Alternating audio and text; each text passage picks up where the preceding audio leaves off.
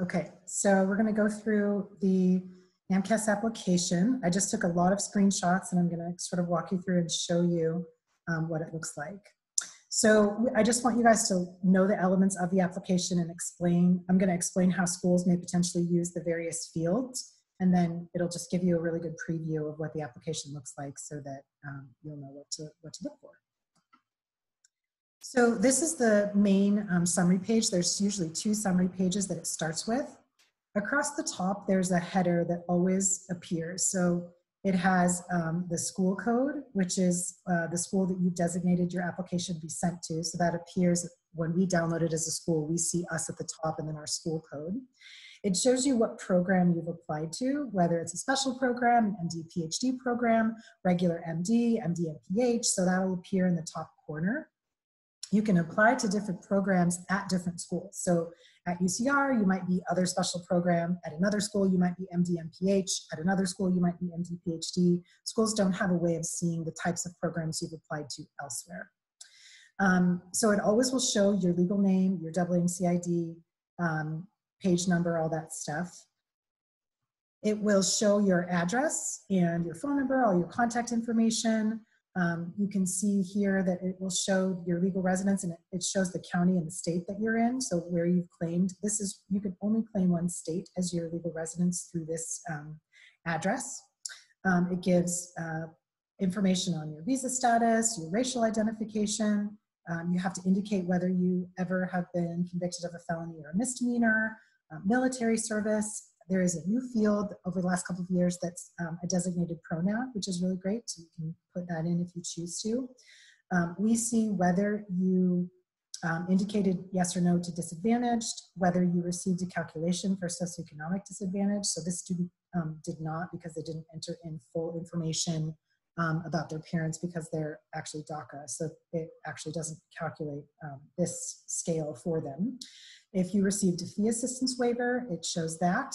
Um, if you've previously matriculated, so what this means is, did you matriculate to another medical school in the past? So if you started at UCR and then you withdrew, and then you're applying again through AMCAS, it would show here um, yes to previous matriculation. This is also a question where you um, enter whether you've previously applied. This only shows if you've previously applied to UCR or not. So it's school specific flag. So if you one year applied to only UCR, and then the next year you applied to UCLA and UCSD and UCR. The application that we download will show previous application in the year that you applied to us, but the other schools as downloaded will not show that you've previously applied. Um, you have to indicate whether you have an institutional action and whether there's a report on file for that. Um, and then you can also put in your uh, ethnicity, self-identification, uh, military service. It gives us a summary of the schools you've attended, the dates you've attended, the majors and or minors that you've selected and the degrees you've been awarded and the number of hours at that institution, and then also goes on to include um, MCAT scores. Um, again, you can see uh, the, this one is regular MD instead. Uh, it will show you the, the same kind of thing. This student actually went to two different schools. So again, the school summary will show um, major, minor, it shows a program level if you've gone to a community college or a junior college and the number of hours. So we see that this person did 93 hours at Riverside Community College and then 88 hours at UCR. Um, you can also put in more specifics into the race and ethnicity section. If you do include them, it shows up on this page.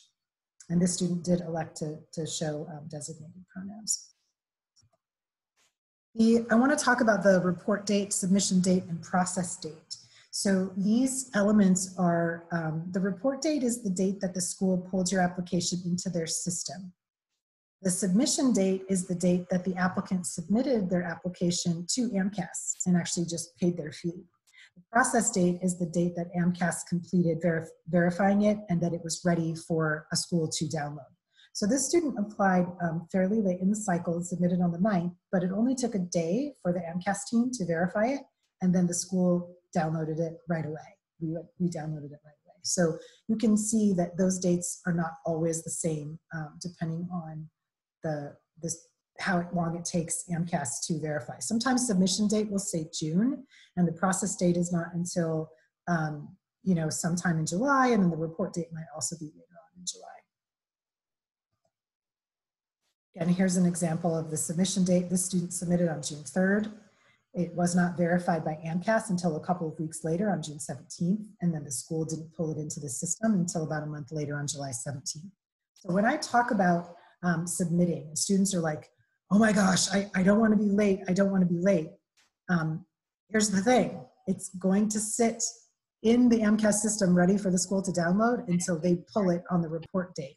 So when we pull it into our system, everything is going to show the same report date um, unless we look at the original and see when you when you've submitted. So when we sort applications, we usually do it by report date. So everybody who submitted before Ju July 16th at this school is probably going to be pulled on the same day. Um, so you don't get like some huge advantage in, in submitting super early, only that you're sure that your application can be processed by AMCAS and be ready to download when the schools um, download in July.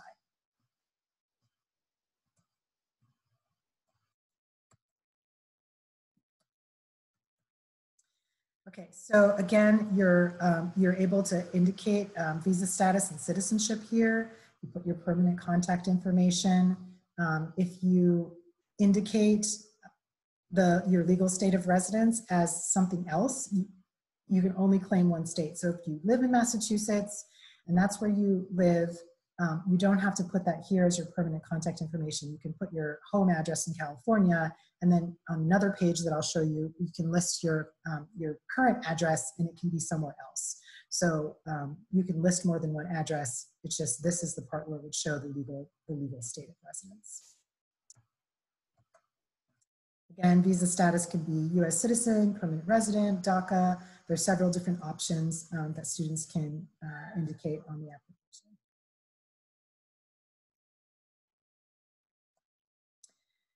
The racial and self-identification um, is two questions. So the, the AMCAS application will ask you your race first, and it will it includes um, Black, White, Native American, Asian American, and then it will ask you, are you Hispanic, yes or no? So it's a two question format. So there's um, one racial self-identification question and then an ethnic self-identification question.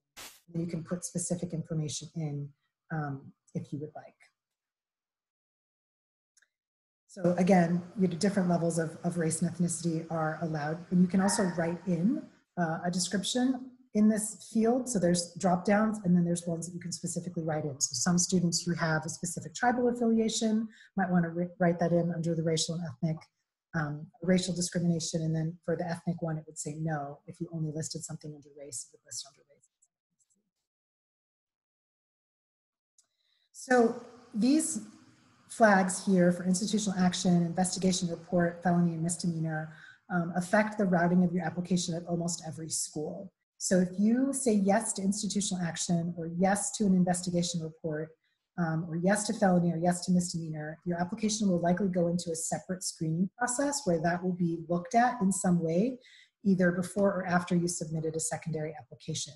So if you have a yes in any of these, you can expect there to be some delays in the processing of your application. So maybe um, if you have an institutional action for your grades dropping below a certain level, or you have um, the investigation report is actually through AMCAS. So in the verification process of your application, if an investigation is open, there's lots of reasons. Um, maybe students submitted a transcript that looked like it was a fake transcript, or maybe there's um, the bunch of their courses are listed wrong, or there's something there's something out of the ordinary with how their file was verified.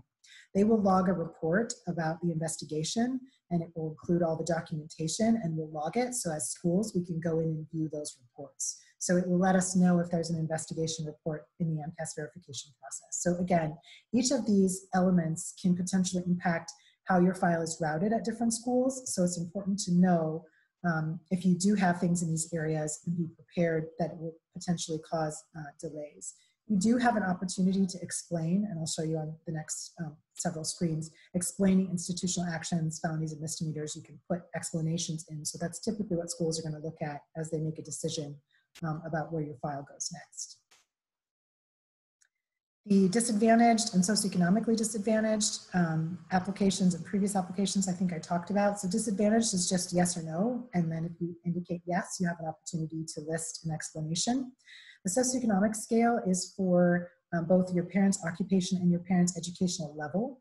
So if you don't fill out the information, it will say unknown. If they're unable to calculate it, um, it will say not applicable, like if your parents have not gone to school in the United States, for example, um, or you listed educational levels where they weren't able to determine, um, or it will list EO1 or EO2, the two lowest levels of the um, economic opportunity scale that the AAMC developed. So this um, SES disadvantage is derived from other fields that the applicant enters. You cannot elect to get the EO1 or the EO2 designation. It is drawn from what you enter about your parents' income and your parents' education. Um, again, it'll show us the schools you've attended.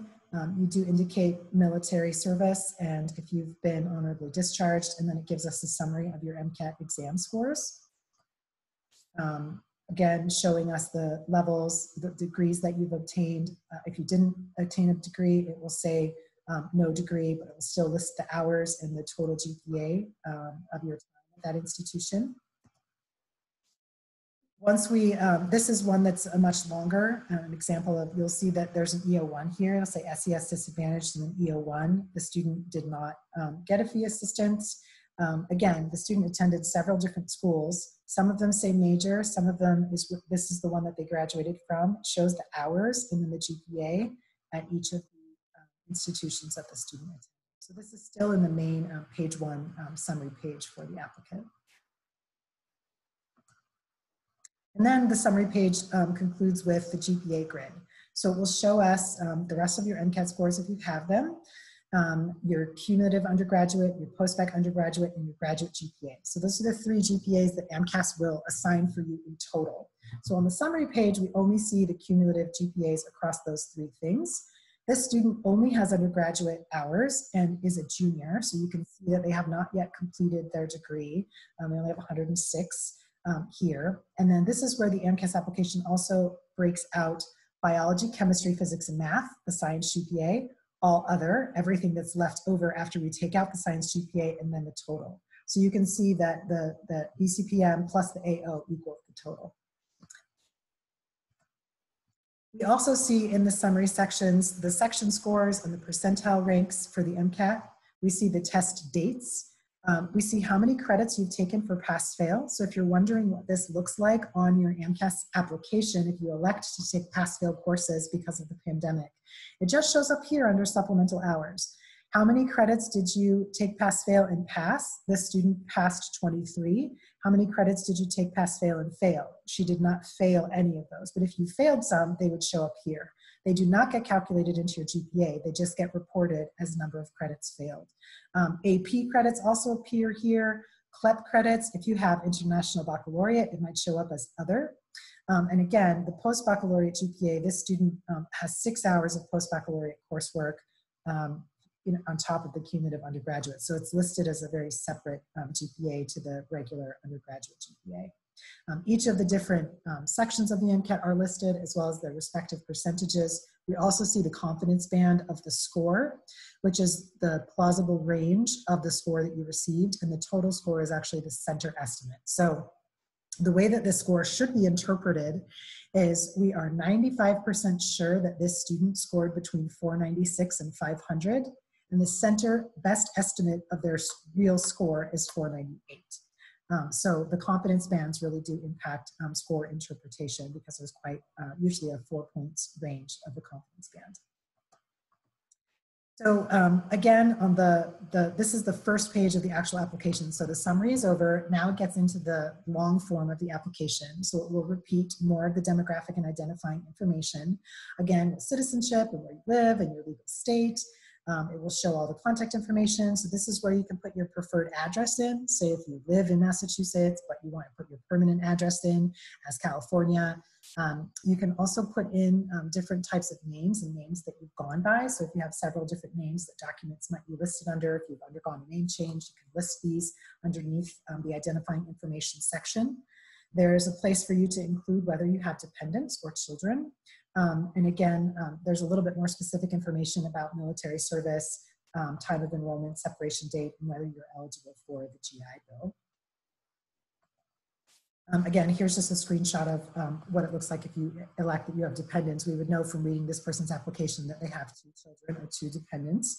Um, it, it, gets into language information, so you'll be able to list languages, your proficiency level, which is self-reported and not verified, um, and whether or not you, or to what extent you use that language in your childhood home.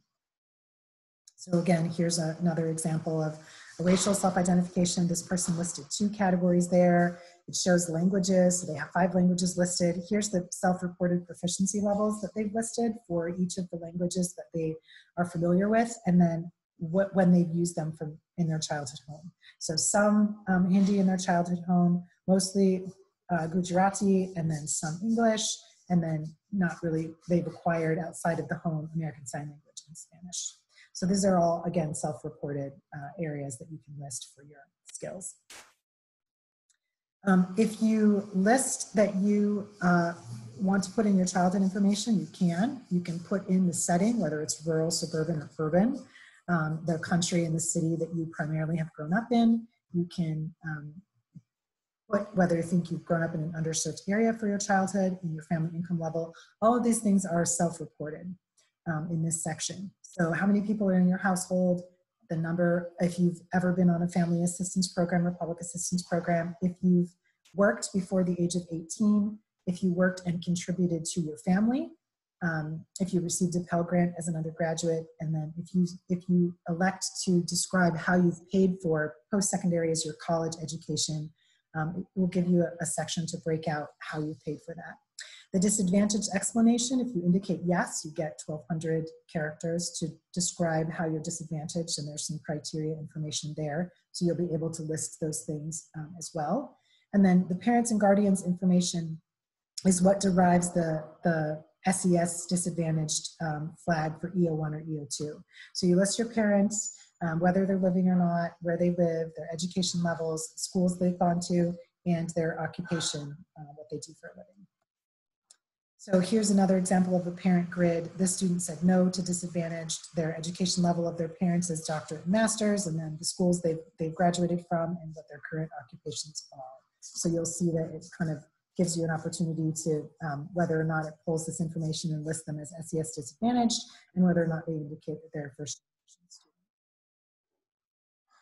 Then in the childhood information, again, you can put uh, suburban, urban, rural, the county and state uh, country that you've grown up in. This student elected to um, describe how they've paid for their college education. It gives you a breakdown of academic scholarship, need-based scholarship loans, um, student loans, which would be federal, other loans, which would be private, contributions from family, contributions from applicant and or other, if there's a special you know, grant program or some other uh, way that you've paid for school. So this gives committees a little bit of an insight into what your college journey has been um, from childhood and through undergraduate. Um, the parents and guardians information, if you don't have it, um, it will just say that you're not able to provide the information. It will not be able to give you the SES disadvantaged info because that's derived from parent information. This applicant does not um, have contact with their parents, so they don't know if they're a first generation student and are not able to list any siblings. Um, this is the information about previous matriculation and previous application that I um, mentioned. So in previous application, the student did apply to our school um, the year before. Um, they've not matriculated to any other medical school. If they did, it would show what medical school they previously had gone to, the year that they started, and why they're reapplying um, they don't have any institutional actions, but if they did, they would also get character limited space to describe the institutional action. Um, same with felonies, same with misdemeanor, um, and same with um, military. So um, it, you do get a chance to put your explanation in at the same time that you have to disclose these things so that schools will be able to hopefully be very fair in how they um, look at those things. For SES disadvantaged, again, indicating first generation, you put in your siblings. This is the information that you can enter about your siblings, how old they are, um, and their sex, and then it, it lets you um, just put that basic info. So you don't enter names or anything like that, but it gives us a sense of your, your household composition. Um, and again, the other previous matriculation information. So then it gets into your, your transcript and your record. So this is the information that students have to enter in on their own. So you essentially, from your transcript, type in all this information and then AMCAS verifies it. So you list the school, Um, it gives you information on the year that you were a freshman when you took this course. This is the year that you took it. What quarter, semester, trimester did you take it? And then you put um, exactly as it appears on your transcript um, this information in. And then um, the, the original, OT stands for original transcript hours. Um, semester hours is what AMCAS converts them to. And then the original transcript grade and then um, whether AMCAS has made a correction. So if AMCAS makes corrections, they will list an X here. If they just mark it off as correct, it will list a slash. So if there's too many corrections being made in the verification process, it can trigger an investigation if there's too many things listed inaccurately or incorrectly from your transcripts to the transcripts that they're verifying once they receive your application on the other side. So um, let's go through a few more screenshots of this. So again, um, this student took some concurrent enrollment, so the status here is listed as high school. And you can see the years 2005, 2006, um, and then they started school um, a year after that. Um, this semester's um, semester one, semester two, whether or not you've elected the courses pass fail, you can see here that it does not include any semester hours into the um, into the equation because they don't get calculated into your GPA. The original transcript grade is pass, and the AMCAS grade is then pass. Um, so you you can see sort of, they also flag courses that have been repeated. Again, they go in as um, full weight in the AMCAS calculation uh, GPA. Um, here you can see original transcript hours, semester hours, original transcript grade, and AMCAS grade. Sometimes they don't change. They, they exactly go straight across if the school is on semester systems um, or not. If the school is on uh, is not on the, the same um, court, it's on a quarter system, then the semester hours are going to change and be weighted very differently. So the original transcript hours for this course was five, but it gets weighted into AMCAS semester hours as 3.3. So the grade stays the same, but how it gets weighted into your GPA is different. So this is how you end up with a different AMCAS GPA than on your original transcript because it accounts to convert everything to the equivalent weight in hours so that those who are on quarters or trimesters um, are equalized across semester hours um, for all GPAs and all applicants. So if you did IB, it will show up on your application in this way, or AP. If you've done courses that are designated as honors, it will also show um, that, that, those are um, indicated in the course type as well. Once you get to the bottom of your educational summary, we will find out what high school you went to, um, the city and county um, that it's located in, and the country. Um, what year you graduated from high school is also listed, and then your attendance uh, in college, as well as, again, the majors, the minors, um, the hours you've taken, and the total GPA at those institutions. We are able to then see the breakout, the full breakout of your science, non-science, and total GPAs by credit hours and performance. So again, the student took 16.2 semester hours, um, in BCPM courses their freshman year, and their GPA in those classes was 2.62. We can see this upward trend for the students. So this is what we talk about when we say upward trends. This is what it looks like. It gives us your grades across each of these years, including the post-baccalaureate, if you take any courses there, and then your cumulative um, GPA. This student doesn't have any graduate courses, but if they did, these would also be listed completely separately and not added into the undergraduate GPA. Um, You'll also see again, pass-fail courses that are passed, pass-fail courses that are failed, AP credits, CLEP, and other, um, and other courses in the academic summary. So if you apply as a junior, you won't have anything in your senior year because you don't have those transcripts yet. You can totally apply with just the grades that you have, and the committee will make a decision based on the information that they do have. So this student only has 101 hours. They probably have 20 hours to go, so a couple more semesters left. Um, and that's fine. So a lot of students who are applying and don't intend to take um, a growth year or gap year, uh, it will just be it will just be blank, and that's completely fine. The application gets verified with the courses that you do have and sent to schools. When you um, get accepted and start medical school, you're expected to send your final transcripts to the school to verify that you have in fact completed your bachelor's degree, passed all your classes with whatever pre-med coursework um, you know, passing grades are required for that school. So you're still accountable for finishing all these things. It's just not in your application to medical school. Um, we see the MCAT exams. So if you say yes, you're going to take the MCAT again, it will tell us when we can expect uh, a score. This is a field that you can actually go back and update. So if when you send the AMCAS application to in for verification, you plan on taking the test again, and you say yes, and you put your date here, and then you change your mind and you say, I'm not going to, you should go back in and update this because it likely will still be stamped on the application unless you go back in and update it. And many schools will hold your application if you've indicated a future date because they want to receive all information about your candidacy before they make a decision um, about the next phase. Every time you've ever taken the test and scored it, it will show the test date and all of your scoring information. Um, it will show scores before the new MCAT 2015 as well, if, if you in fact have any.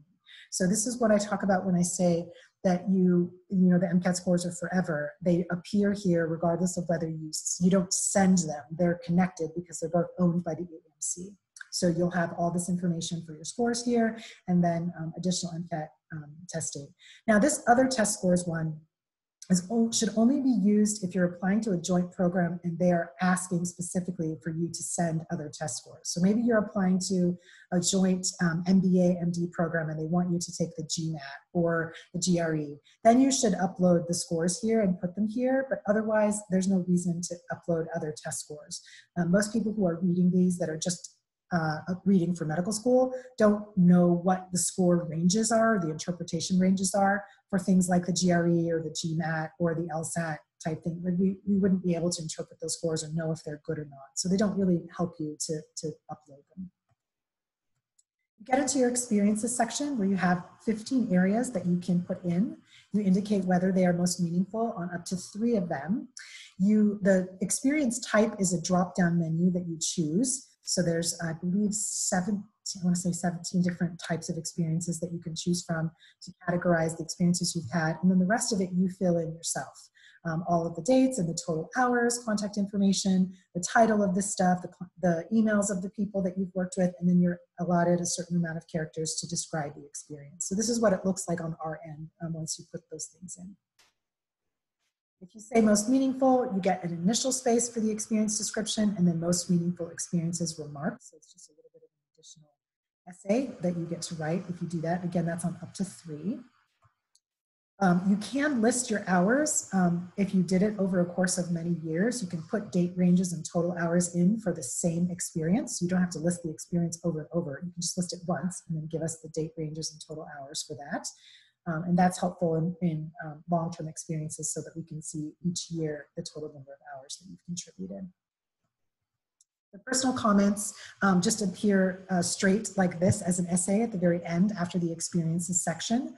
Um, so just pay attention to the AMCAS manual because if you use special characters or emojis or something in your essay when you submit it, they'll get turned into funky characters and sometimes the formatting will be strange, but it is very uh, very straightforward um, formatting for your personal comments.